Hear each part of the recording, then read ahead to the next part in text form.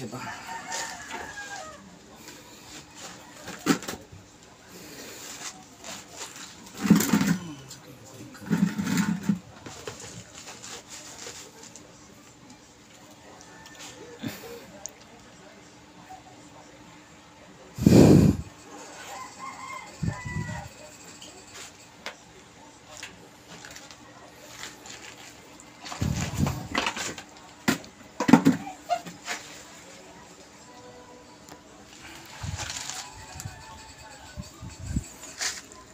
Yan na guys, yung kinakapit natin. Yan.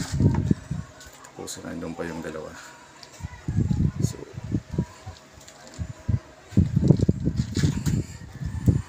hindi natin matapos to ngayon. Susunod naman na ano, mga flooringan natin itong second floor tatiles natin. Okay.